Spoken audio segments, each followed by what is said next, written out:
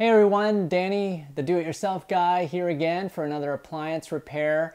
It's with my dishwasher. It just stopped um, working in the middle of a cycle. The power was off. There's no lights coming on. So I suspect it's a fuse that's blown.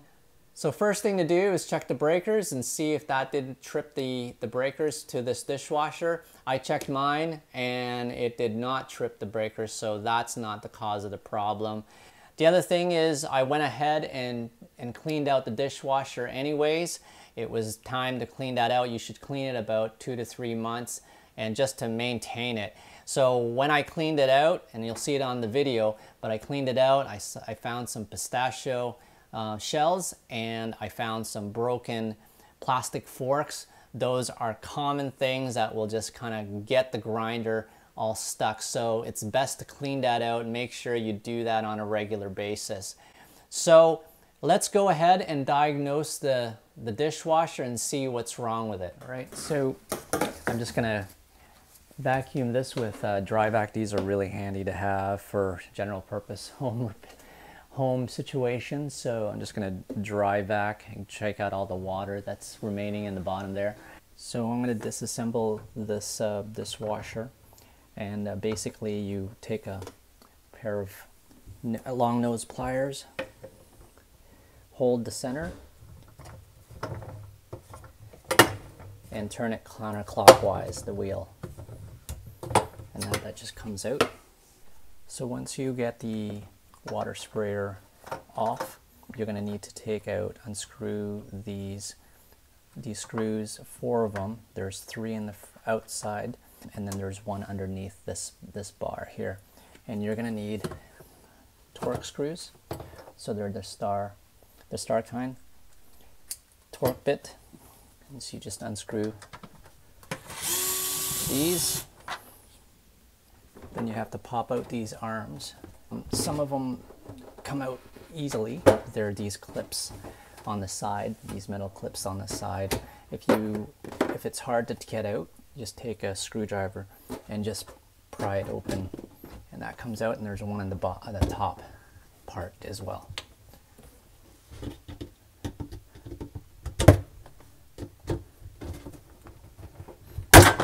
Yeah, that comes off and then you just lift and rotate clockwise and that comes off. This arm comes off. And then there, it'll reveal the, the hidden screw that's underneath that. So you unscrew that.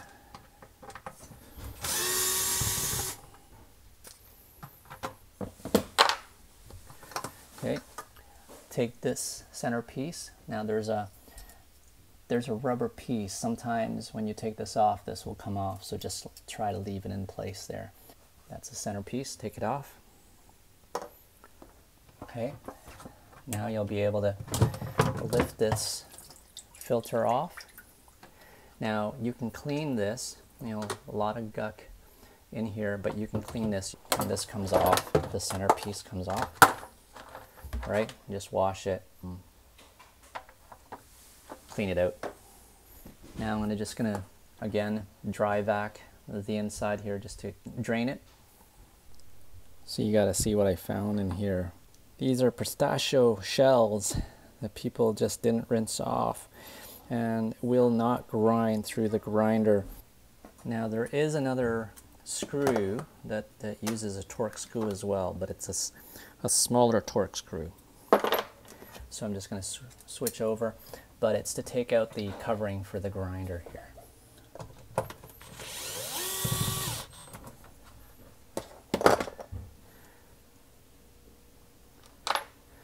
This just after you unscrew that this just pops out. Right and look what I found. I don't know how this got in there but it's uh, a plastic piece this disposable plastic fork. And uh, I see a few of them in there so I'm gonna clean that out. Alright, so once you've cleaned this out, you can put it all together. That This just lines up to the shape of the inside here. And that just pops back in. Let's clean that out. Put this back in, line it up. All right. And then you put the centerpiece. Remember, there's this rubber rubber washer here. Make sure that's on, okay? And um, so one of the things is you have to press, press down initially, okay? Press it nice and snug so it won't move. Screw in the hidden, hidden screw there.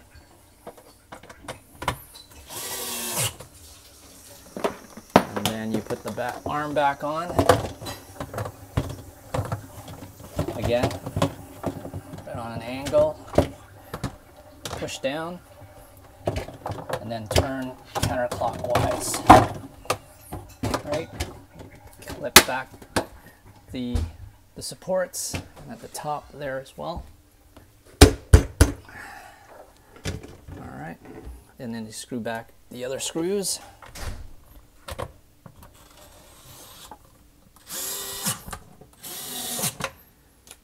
Okay, now when you put this back on, you make sure you lift this up first.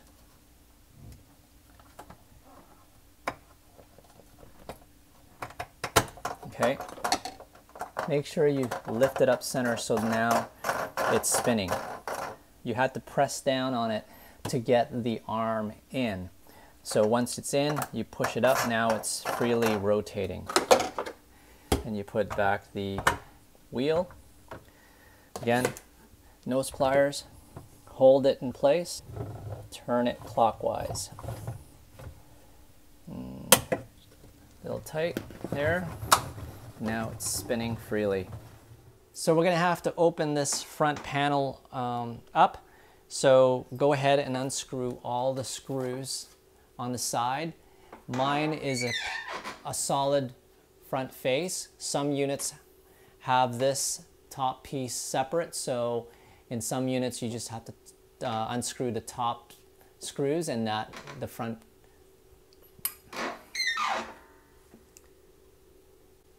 So we're gonna open up the front panel to get access to the motherboard. So unscrew all these side screws with, uh, with your Torx screws. In some units, I find that you just have to unscrew the top pieces, the top screws, and that will reveal the control panel. And since mine is a solid face, solid front, I have to unscrew all of it. So I'm gonna go ahead and unscrew all these screws.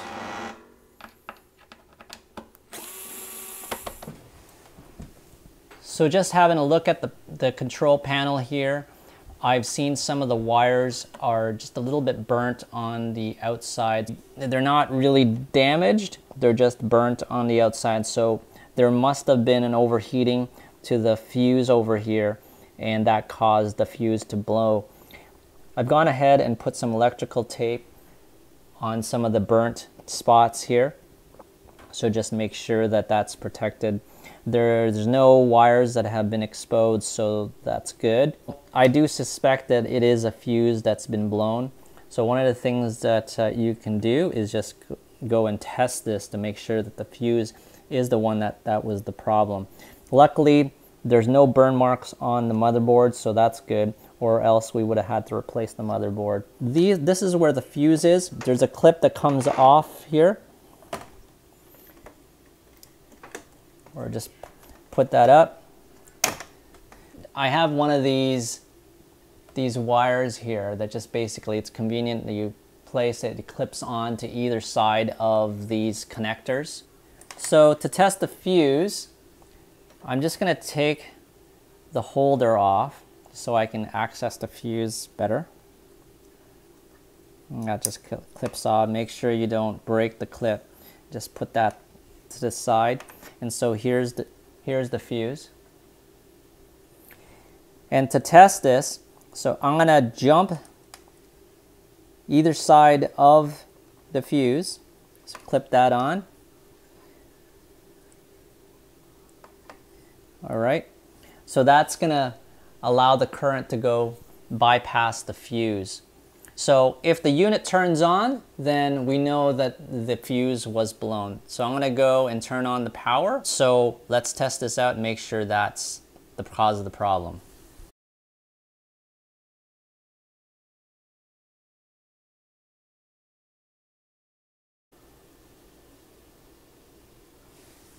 All right, the power is on and as you can tell, the lights are on, so it was the fuse.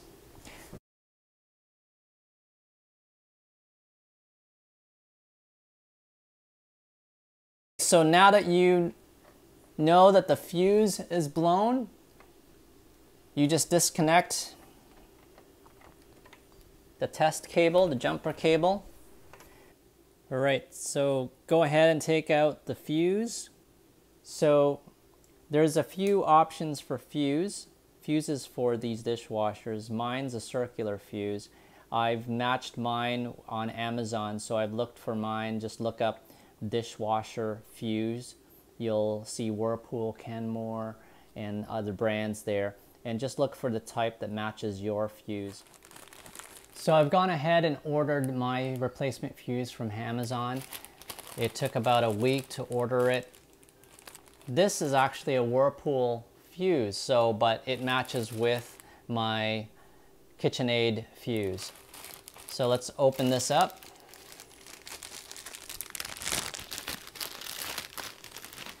So it comes with some twisty ties.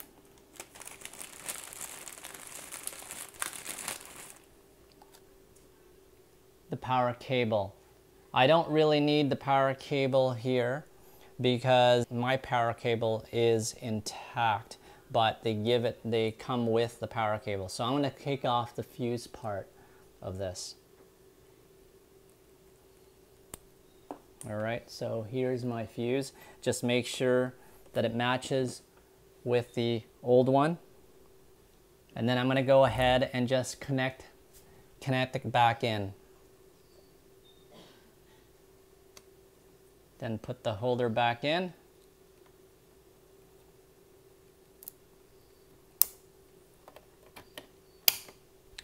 Pop it in. And then I'm gonna go ahead and test this to make sure it is working.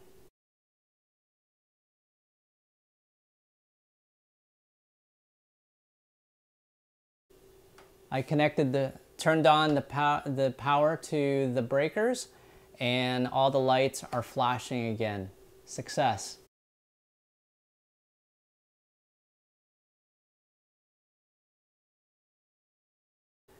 So now that you've confirmed that the fuse is working, I'm just going to put it all back together.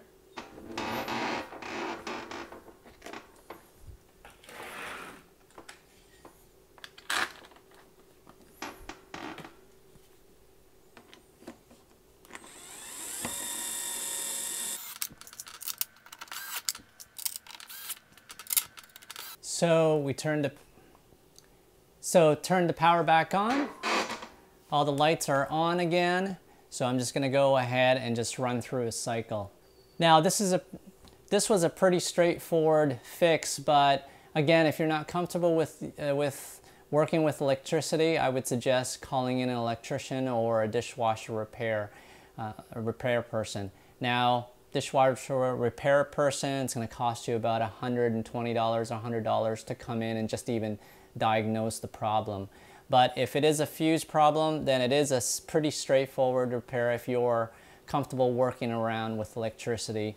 Just make sure, again, you turn off all the power um, to the breakers. Make sure there's no electricity running in here.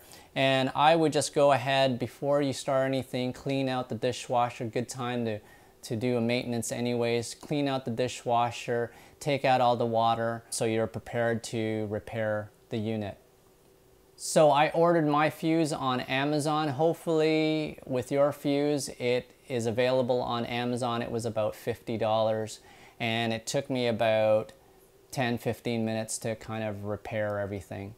That's it for now. And if you like this video and it was helpful, please subscribe or like the video.